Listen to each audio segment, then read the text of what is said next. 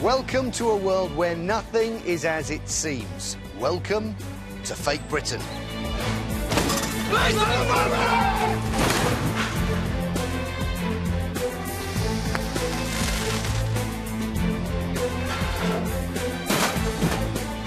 out! Get out! Of the floor now! Put your hands behind your back now! Here at the Fake Britain House, we'll reveal the fakes that are flooding the market, conning people like you and me and making money for the criminals. We'll investigate the fraudsters who are selling us something that isn't real and could be dangerous, and we'll help you avoid falling for a fake. Today on Fake Britain, the fake life-saving equipment that got into the NHS. This will break under any serious pressure. Life lost. The fake cigarettes hidden right under our noses.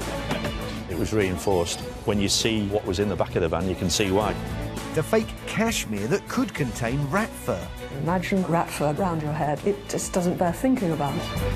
And the chilling story of the fake ice cream vans. The quality of workmanship was shocking, potentially a safety hazard going down the road.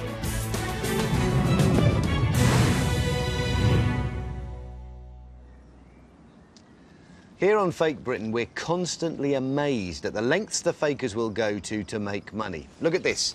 It's a combat application tourniquet used on patients who have a very real risk of dying through blood loss. They're carried by the military, the police, and also ambulance crews. It may not look like much, but it could be the difference between life and death. This one, though, won't be saving any lives.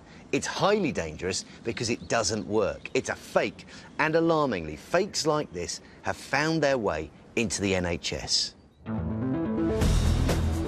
Every single ambulance trust across the country has one of these critical pieces of life-saving equipment. It's a combat application tourniquet, or CAT. Paramedics used the tourniquets to save lives during the Alton Towers roller coaster disaster. This was one of the worst accidents ever on a theme park ride, leaving 16 people injured, including Leah Washington, whose left leg was badly crushed in the accident. Because I was so injured on ride, I needed their skills to save my life, really. So I was literally just bleeding to death, and these tourniquets helped stop the bleeding. The main artery in Leah's leg was completely severed in the accident. X-rays taken at the time show where paramedics had to apply two CAT tourniquets to stop her from bleeding to death. You can see on one of the pictures of my left thigh how much pressure they're actually putting onto my leg. There's two darker shades, um, and that's where the two tourniquets were, and it's quite shocking really when you look how tight it is. It looks simple, but the combat application tourniquet has a patented design that makes it reliable and simple to use in an emergency. The tourniquets are made by Fenton Pharmaceuticals. Managing Director Graham Hill showed us how they work. Here we have a simulated gunshot wound to the thigh and applying the tourniquet is easy. Take the tourniquet, put it on above the point of bleeding, tighten up, put through the buckle, and then tighten the windlass as required until the bleeding stops. The tourniquets can be bought online by first aiders, mountaineers and machine operators. In fact, anyone who might need one in their emergency medical kit. And they're used by paramedics across the country to save the lives of people injured in road accidents. Genuine tourniquets are rigorously tested and designed to be strong. A tourniquet is not a I might put this on, it's I need to put this on or my casualty will die and therefore it has to work first time, every time. Since being introduced, the tourniquets have sold in their thousands. But now there are fakes on the market. I was at a trade show and I was approached by a Chinese gentleman and he said, I've got something on my booth that I'd like to show you. And he very proudly showed me a very poor uh, copy of the cat tourniquet and tried to sell it to me. The tourniquet on offer was a fake version of the genuine patented combat application tourniquet and was even being sold under the trademarked CAT name. It did have a CE mark on it.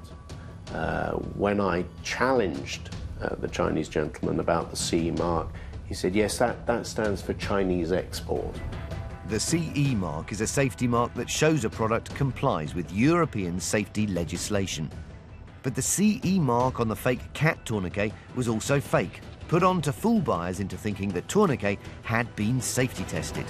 I couldn't be more concerned about the fact that there are fake cat tourniquets out there. Nobody is going to use a cat tourniquet unless they really need to in extremis, and that is not the time to have a device fail. Genuine cat tourniquets have been engineered to withstand the extreme pressure they're put under when they're fully tightened to stop blood loss. Pull it through apply the Velcro and then turn the windlass very, very tight. On the real tourniquet, it's designed to flex a certain amount so that it won't break. But how do the fake tourniquets hold up in an emergency? The risk of the windlass bar breaking here on the fake, there you go. You can see how easy that was to break. Andy Collin is a consultant paramedic with over 20 years' experience in the ambulance service, during which time he saved the lives of dozens of serious trauma victims. Patients that are badly injured, blood loss is one of the major uh, causes of death. So, of course, you have blood in your body. Uh, it's best to keep that blood inside your body, uh, and devices like the tourniquet help us to do that.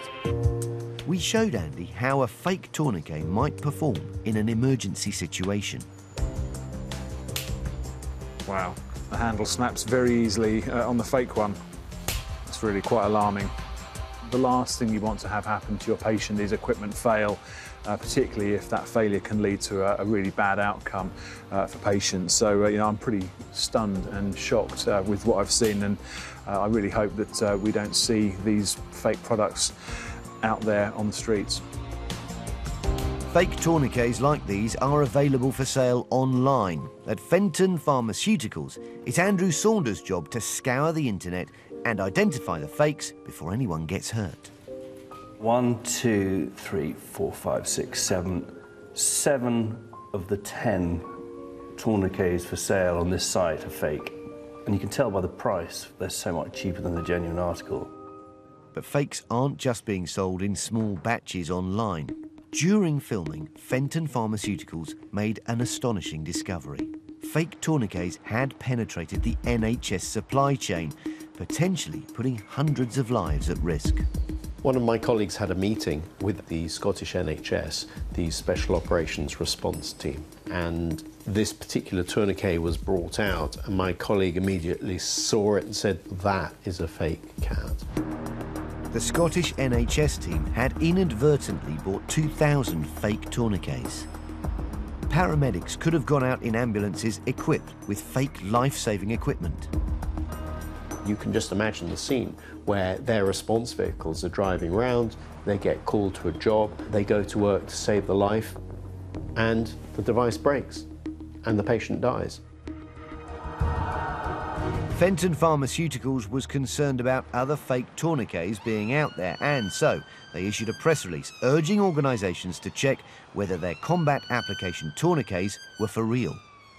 The response was shocking we very quickly started receiving phone calls from a number of organisations who have purchased fake cats and issued them to their staff.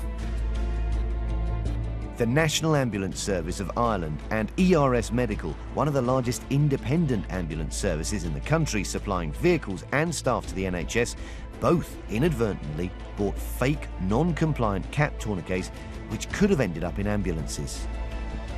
Graham Hill showed us some samples that had been sent in. As soon as we received these, we were able to verify very, very quickly that they were fake. You can actually see quite easily that they're all different. ERS Medical told us that they bought the products in good faith, but it was clear they were substandard and not fit for purpose. These items were immediately replaced and no patients were affected. They say they've since been made aware that they had inadvertently purchased patent infringing products. All those who bought fake cat tourniquets have recalled and replaced them. No patients have been affected, but Graham fears more fakes may still be out there. This will break under any serious pressure. And if these are all over the UK in ambulances, and potentially that's a life lost, I'll have a go. Life lost.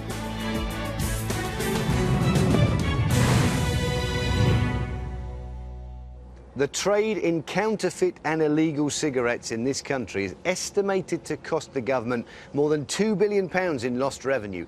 And the battle between the criminals and HM Revenue and Customs is going on every day.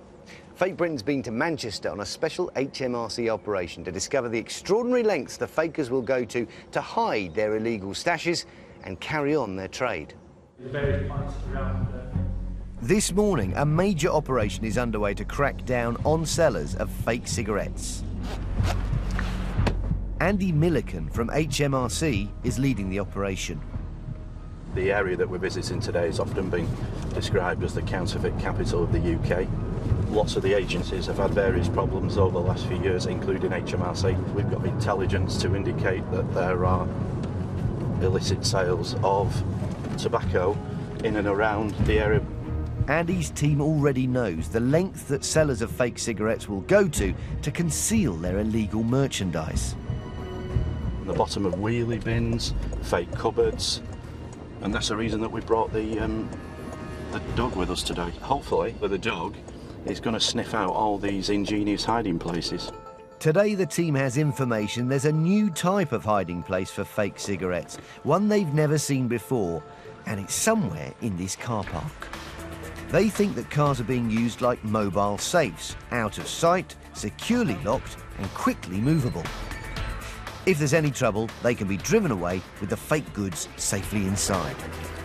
The uh, tobacco dog looking for indicators of tobacco products. He's methodically going around the car park and he's going to check every single vehicle and we'll see what they turn up when officers get to them uh, and actually get into the vehicles and search them.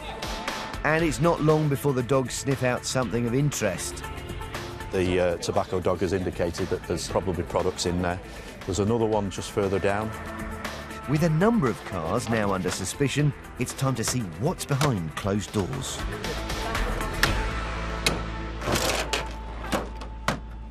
Finally, their efforts are rewarded. This is the car that was indicated by the search dog. There is a quantity of cigarettes in there. There's also a quantity of, uh, of cannabis that we found in the boot, along with dealer bags. So I suspect that uh, the person using this to store the, the drugs and the ciggies in, yeah. It appears this car is more than just a runaround for its owner. My colleagues have just found an example here, two packets of what we suspect to be um, illicit tobacco products, which will be non-duty paid. This is kind of representative and a sample of the type of to illicit tobacco product that HMRC is interested in today. The car park is being used as a stockroom for nearby shops where the fake cigarettes are being sold. In one of the shops, the team has found even more suspected fakes. Packet Mayfair here, probably counterfeit. That's uh, L&M. We suspect that that, well, that's not for the U UK market. Simple as that. Fake cigarettes may contain even more dangerous chemicals than genuine ones, and some don't self-extinguish, meaning they could cause house fires. Many fakes look so convincing that they can be hard to identify, but having seen so many over the years, Andy knows what to look for. It's the markings, really, that you can see by some of the print.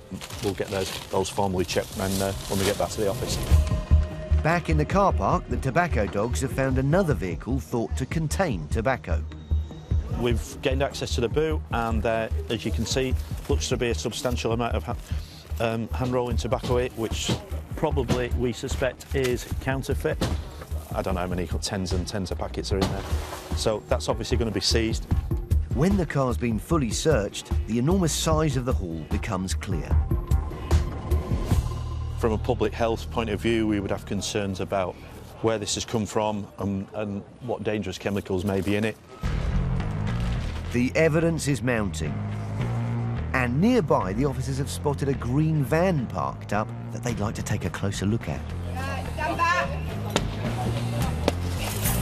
This unassuming vehicle is actually a heavily fortified mobile safe. It's the most secure the officers have seen so far. Just like a real safe, very hard to crack. As you can see, we're trying to get an entry to it at the minute.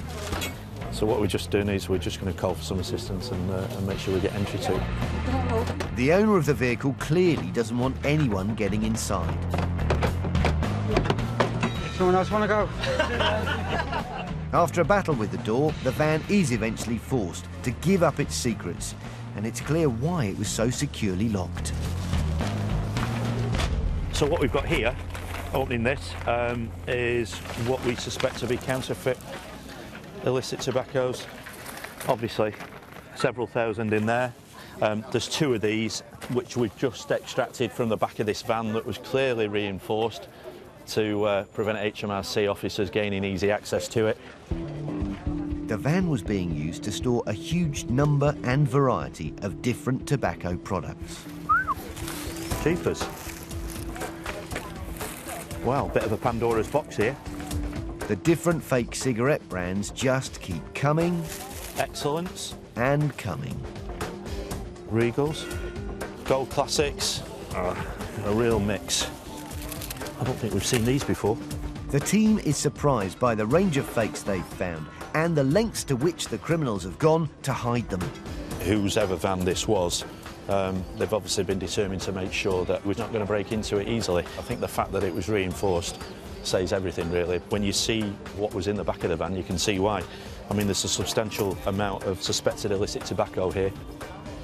So, for HMRC, it's a good result. It's clear that these criminals are making huge profits. This is one of the vehicles that we broke into earlier, found a substantial amount of hand-rolling tobacco in the boot. The officers have just now finished a search of the vehicle, but in the glove box we've found some cash, which is approximately £2,000. Um, so we're going to seize that under the Proceeds of Crime Act. The financial gains for the fakers are a huge loss for everyone else. These are suspected to be costing the UK economy about £2.1 billion every single year. Um, but as a result of the operation that we've done here today and the type of thing HMRC does, um, we've halved the illicit trade market in, in recent years. Sellers of fake cigarettes thought they could get away with hiding their stock inside their cars, but it's backfired. Now they'll lose not only their goods, but the cars too. And they haven't seen the last of the authorities.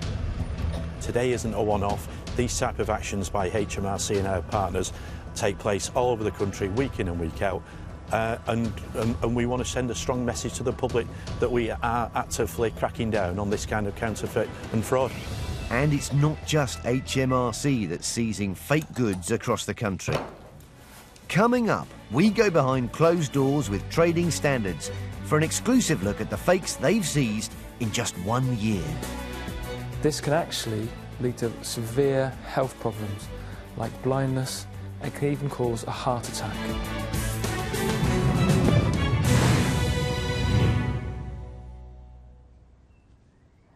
Do you like my jumper? Well, wait till you take a look at the label. 100% cashmere. Cashmere is one of the finest, softest, most luxurious fibres known to man. And not surprisingly, it costs a small fortune. Hundreds of pounds for a jumper like this. But if you spent that sort of money on it, you would have been fleeced because despite what the label says, it's not 100% cashmere at all. It's not any amount of cashmere. It's a fake. Here on Fake Britain, we've seen trading standards and the police seize a lot of fake clothes.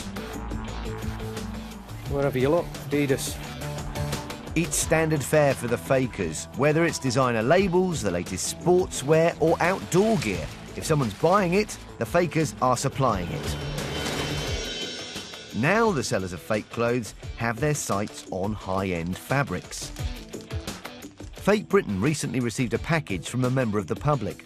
Inside were two sweaters, branded as Polo Ralph Lauren. The labels said they were both 100% cashmere, but the person who bought them was suspicious. So, we decided to investigate.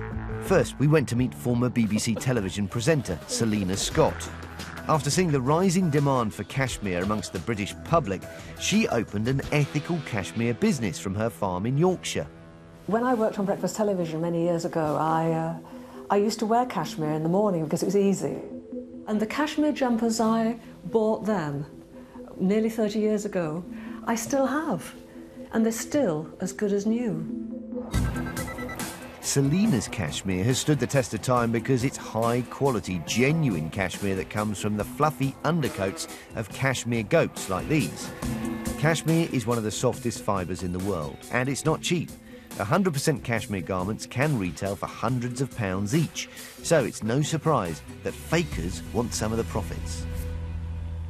Because cashmere's got this reputation on the world market as being one of the, the most luxurious goods you can possibly buy, there's room for corruption.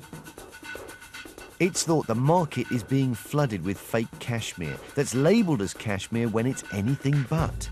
It might contain only small amounts of cashmere, with the rest made up of much cheaper fibres. When you see cashmere in warehouses, you can see how a crafty middleman will go along and say, we can mix that with something like yak. It looks similar, put it in, mix it all up, and then marked 100% cashmere. Some cashmere is even labelled as 100% cashmere when it contains no cashmere fibres at all. But in some cases, the fibres have been revealed to be something that would make your skin crawl. In Italy, the authorities uncovered a huge business selling fake cashmere garments that contained rat fur. 14 people were arrested and more than a million fake items were seized. You hear about rat fur being mixed up with cashmere. I mean, imagine putting that on you. Imagine, you know, wrapping that round your head and uh, going off, and uh, it, it just doesn't bear thinking about. We wanted to see how easy it might be to buy fake cashmere. So we went to an online retailer and bought a scarf advertised as 100% cashmere for around £30. The sort of price some high street shops sell the fabric for at the lower end. We then took the scarf to cashmere industry expert James Sugden, here surrounded by genuine cashmere. I've been nervous about it. The finish that I would look at is very clean. Uh, there's not much top surface to it, which is generally characteristic of cashmere. 100% cashmere. Yes, well, I would be very suspicious. If it was cashmere, I would expect it to be rather more luxurious than this. James suspects our cashmere scarf might not contain any of the luxury fibre at all. With cashmere costing up to 10 times the price of wool, it's little wonder that some criminals are making a business out of passing off cheaper fabrics as something of much higher quality. The temptation for a manufacturer in China to dilute or uh, tamper with a blend is considerable because the rewards uh, in terms of the value of putting some other fibre with cashmere is considerable. There's only one way to find out if our scarf and the sweaters sent in by one of our viewers are actually made of cashmere. We need to get them tested. So today we've brought all the garments to textile and fibres expert Dr. Phil Greaves. He'll examine clippings of the clothing under a powerful microscope to see what they're really made of. First, he looks at the scarf. In order to test the scarf and see which fibres are present, I need to shred fibres into short lengths and spread them out on a slide. Cashmere fibres should look like this, with a very particular pattern of ribs and scales on the outside, and that's what James is looking for. But under the microscope, our scarf's true nature is soon revealed. I'm finding wool and silk I'm not finding any cashmere.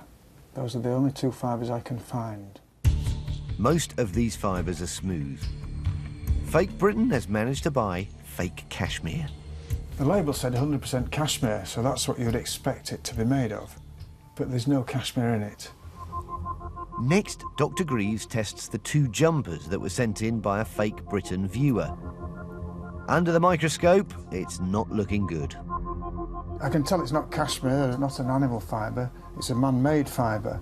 The garment is made of 100% acrylic, there's no cashmere in there at all. All three of the items described as 100% cashmere contain absolutely no cashmere whatsoever. and Ralph Lauren confirmed that they did not make the two jumpers. The labels were fake. We showed the results to James Sugden. I travel the world, I travel the markets, I look all the time at garments, I'm constantly touching and feeling garments, and I see this, and it really incenses me because what's at stake here is an industry, there's a, jobs at stake, it's the integrity of the industry, and it's something that we shall go on fighting for because this has to be stopped. We took to the streets to see what shoppers thought of our fake cashmere. Wow, so this is fake cashmere. I will never say it's not cashmere. If you're telling me No. it's cashmere, I'll be like, okay, cool, it's cashmere. Yeah. It could be a completely fake label, uh, but I would have been taken in by the label, I believe. I don't like lies. I don't like being told something that it's not. It kind of makes you think within the market as well how many of those clothes are actually cashmere when it Yeah, says when it, it says, says they it's are. cashmere, but it's not. I think it's pretty appalling. Um, someone's obviously going to pay a little bit more for it, thinking Mm. they're getting a special present for someone off themselves. They might have saved up for it, um, and they've just been left shortchanged. For people like Selina, who are in the cashmere business, the fakes are bad news all round. It's a con, it's a scam. That's all it is. It's not good for the consumer, it's certainly not good for the herder. So fake cashmere altogether is just a no-no.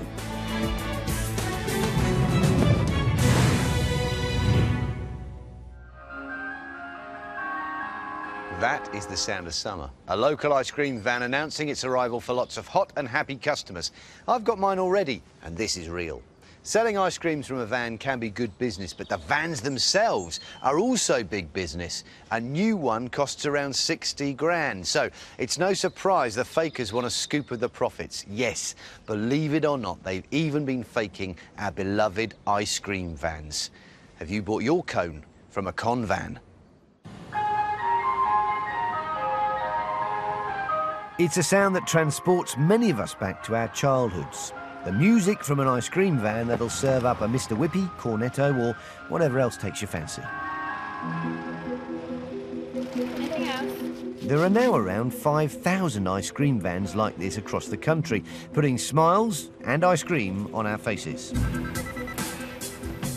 Around 90% of them are built by just one British company, Whitby Morrison of Crewe. The company was founded back in 1962 by Brian Whitby. From humble beginnings, the company is now the largest manufacturer of ice cream vans in the UK, and it employs around 50 workers. Uh, and then onto this one, when she's ready. Whitby Morrison is a family affair, with Brian Whitby's son Stuart and grandson Ed now behind the wheel. From 1960, classic British heritage to the modern fleet that people use today. It's just ice cream vans. We, we love them. And this is their flagship van, the Mondial. Bristling with technology, it has a distinctive fiberglass shell built onto a Mercedes-Benz Sprinter van chassis. This one's due to go beginning next week. Managing Director Stuart is proud of what the company's achieved. I joined the company in 1978 and basically I set out to build the Rolls-Royce of ice cream vans. That's what we were about and Whitby Morrison is renowned as the very best vans out there. We just want to do simply the best. All in all, it sounds like a great British manufacturing success story. And business was going brilliantly until the day operations manager Ed was visited by some new customers. Six, 60 years old. We were contacted uh, by a customer suggesting that they'd like to purchase the Mondial, uh, our most popular model by a long, long way. Uh, he came to see us, placed the order, and thought, great, that's another one to add to the schedule and great opportunity to produce another fantastic van. With a brand new Mondial ice cream van costing over £60,000, the customers wanted to save money by providing their own van for Whitby Morrison to convert into one of their own unique fiberglass designs. They brought a Mercedes panel van for us to convert, which is a, a big job. It's fiberglass body, refrigeration, all sorts of work involved. And we built it, as we do, and they came along a couple of times and checked it during build, and they took it away to Leeds.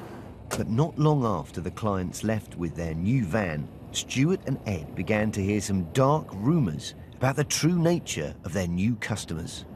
We were tipped off by a couple of people within the industry saying, you do know that these people are looking to purchase this van with a view to producing their own copies.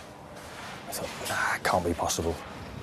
So we approached the customer about it, invited them in for a meeting, and said, look, we've, we've heard these rumours, we wouldn't, wouldn't expect that to be the case. Oh, no, no, no, we, we, we wouldn't do anything of the kind. We're just humble ice cream men. We just want to sell ice cream. But soon Ed began to receive some worrying photographs of ice cream vans for sale on social media. We began to receive images from, from various people within the industry. It turned out that these images we've been posted were a blatant copy of a, a Whitby Morrison van. Whitby Morrison are all for a bit of healthy competition, but not when it comes to the faking of their vans. So they hired leading intellectual property lawyer Patrick Tedstone. In our business, you see all kinds of fake manufacture undertaken. But I don't think we'd ever seen something manufactured as a fake as large as these ice cream vans were. Patrick started to investigate how vans that looked very much like Whitby Morrison vans were being sold on social media. The primary method that the fakers had to sell these vans was people were invited to join chat rooms, to look at vans, and to place orders. The next step was to find out where the ice cream vans were being made. So Patrick put together a team to track down the fakers. When we got there, we could see lots of activity, ice cream vans coming and going, and work going on. And uh, we were really surprised by the uh, level of the operation. The surveillance team kept a close eye on the premises, hoping to gather evidence that would prove that Whitby Morrison vans were being faked. A car was parked across the street and fitted with hidden cameras. But one day, the car went missing. There was just some glass on the pavement. We didn't know what had happened. The car turned up four days later, it had been trashed, the cameras were stolen, all the equipment was taken. We don't know who damaged the car, but it seemed like we had a real fight on our hands. We had to be careful what we were doing, we had to be cautious about our approach, but we needed more information. Patrick's investigation team turned to photographic evidence to continue building their case. Fortunately, we had a private investigator on the scene and he took some detailed photographs. From that moment onwards, we could tell this was an exact copy. But how had the fakers done it? Creating the fiberglass shell of an ice cream van is a highly specialised job, and Whitby Morrison have worked hard to make sure their vans are safe. This is the beginning of uh, the production process. This is the, the fiberglass moulding workshop. This is where all the vehicle bodies begin, uh, lids, doors, water tanks.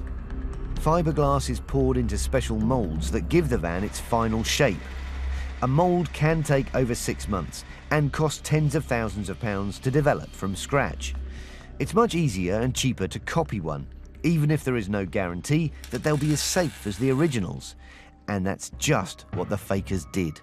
This is the, the Mondial mould um, that was, was copied by the defendants. Every little detail was copied. You see the, the veins within the side, the recesses at the rear for the number plate, for the lights, within the roof, the space for the ventilation, the styling features. The fakers had copied the original Whitby Morrison design to the nearest millimetre. This is the most blatant example um, of one of the fake components. Absolutely everything here is was reproduced identically, from, from the leatherette pattern to the number of diamonds featured down the centre. But the fakers hadn't just copied the design of the genuine Whitby Morrison vans. They even cashed in on the famous Whitby Morrison name. But when you combine the copying and you use the real manufacturer's name, then you're giving the product cachet and value, both in the new market and in the second-hand market. And what these defendants were doing, beyond any doubt, was they were saying, this is a Whitby Morrison van. The fakers were doing a roaring trade, selling the vans as fast as they could make them. We have evidence that the defendants sold at least 30 fake vans. That equates to up to £2 million of fake vans sold. £2 million is a huge amount of money, even for a successful manufacturer like Whitby Morrison's to bear. It wasn't just huge financial loss that Ed and Stuart Whitby had to contend with. There were real concerns about the safety of the fake vans out there. The fiberglass panels of an original Whitby Morrison van are rigorously safety tested. They're made to an approved European standard. And it was when one concerned customer contacted Whitby Morrison that the true danger of the fake ice cream vans became apparent. We had one van back here that had been built by, by the defendants, and the quality of workmanship was shocking. You know, potentially a safety hazard going down the road. Patrick finally had enough evidence to bring a High Court civil case against the Rubani family, who'd been selling the fake ice cream vans through their company, Yorkshire Specialist Vehicles. The judge presiding over the case wanted to see the fakery with his own eyes. When you looked at the vans side by side, they were so obviously identical. There was no way out for the defendants. They couldn't deny it any longer. They had to admit what they'd done. The court ruled that Yorkshire Specialist Vehicles had infringed the design and trademark of Whitby Morrison. They were ordered to pay £300,000 and to return the moulds they'd used to make the fake vans.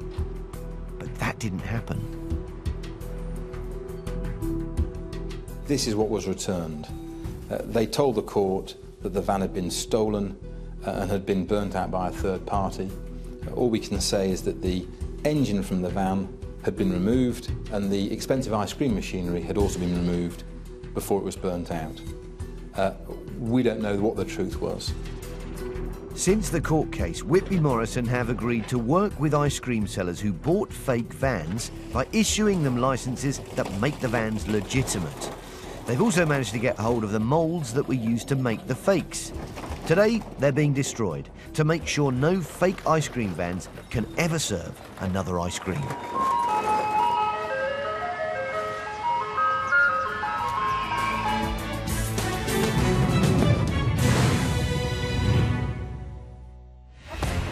Earlier on Fake Britain, we saw how HMRC, trading standards and the police are making major seizures of fake goods in Manchester. Looks to be a substantial amount of counterfeit illicit tobaccos. And we've seen how trading standards in other parts of the country are seizing fake goods in huge quantities. But we wanted to find out more about the scale of the problem.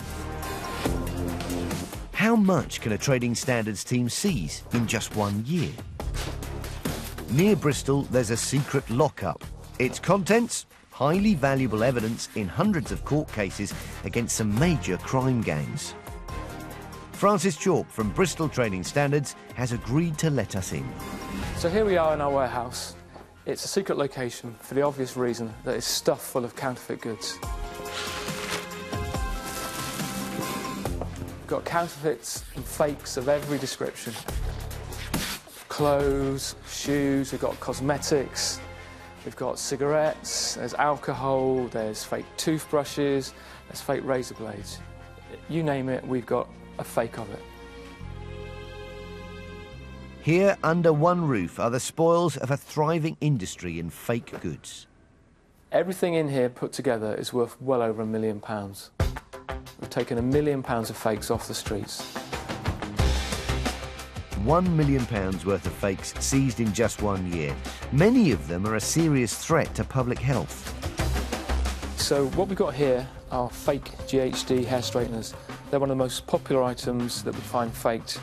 Quite often we find that these products either don't have fuses in them or the fuses that are in them are fake, which means that the plug will heat up, potentially burst into flames and these could cause a house fire.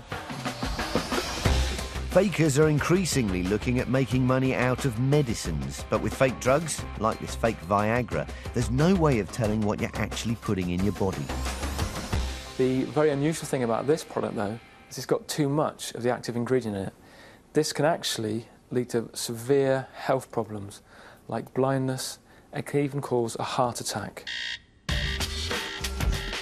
There's been a huge increase in the number of people buying prescription medication online, but patients can't be sure what they're getting, and that means they're taking serious risks with their health. Recently, an international operation to stop sellers of fake drugs resulted in 10,000 websites being taken down and 200 people arrested. There's been cases of fake diazepam in Scotland recently where two people have actually died. Trading Standards also seized thousands of these fake razor blades, shipped in from abroad and destined for unsuspecting shoppers in the UK. These are part of a consignment that was seized from customs up in Coventry. So a lot of the items that are coming in from overseas, such as uh, China, go into that hub, and customs were looking specifically for these products, and they found literally tens of thousands of them. The fakers have employed some clever tactics to get their stock past the customs officials. In this case, they shipped the fake Joe Malone toiletries into the country in boxes with other brand names on them in order to avoid detection. Once inside the UK, the fakers can then finish the job. They've come into the country in this box, and what's happened is that in the UK, someone has then just taken a sticker and put it over the top to make this look like this. Fake cosmetics cost the beauty industry over £200 million a year. And when you take the fake goods industry as a whole, the figures are staggering. The fakes cost the UK economy at least £1.3 billion every year. Worldwide, the trade is estimated to be worth something like £1.5 trillion. And it's getting harder and harder to stop. Francis has been fighting the fakers for years, long enough to see how they've evolved. Years ago when I started, we were dealing with people in car boot sales, flogging dodgy DVDs out of the back of their vans and cars. They were really easy to spot. These days, it's virtually impossible. This storage facility is just one of many used by trading standards teams across the country to house their seizures. 150 miles away in Cornwall, there's another lockup full of yet more fakes. Trading Standards Officer Gary Webster is on hand to show us what his team has seized in the last year. This is a huge stack of goods that we, we seized recently. Fake car badges, fake toys, fake remote controls, all sorts of different products that were being sold on online marketplaces and they were being distributed throughout the world. We estimate there's in the region of 90,000 items that were seized. We reckon that it may have made the counterfeiters over £2 million. And obviously investigations are still ongoing into exactly the full extent of, of the supply chain. Fakers follow consumer trends closely and they're quick to react when a new design or gadget becomes popular with shoppers. There's a huge amount of fake products, and the, the, the, brands and the types of products are changing all the time to obviously keep up with the latest fashions and crazes. We see huge changes in, in the toys. What's, what's popular one month can soon go out of fashion, and something else pops along. The fakers are also into their films. Okay, so every time we see a new movie, obviously we see a real increase in the amount of fakes and fraudulent items that are on sale, particularly those that appeal to children. I have uh, some from the Despicable Me franchise and Disney's Frozen as well. Fake film merchandise has been found to be poorly made and potentially dangerous for children. As we've seen on Fake Britain, six-year-old Bethany Stodden was scarred for life after her cheek was sliced open by a fake Frozen wristband. And some fake branded clothes have been found to be highly flammable as a father myself, you know, I'd be very keen to ensure that my children were, were, were safe in the clothing and stuff that, I'd bought for them. Um, it, with fakes, you've got no guarantees of the production method, you don't know what materials they've used, and you really are putting your children's lives at risk if you buy, buy fakes.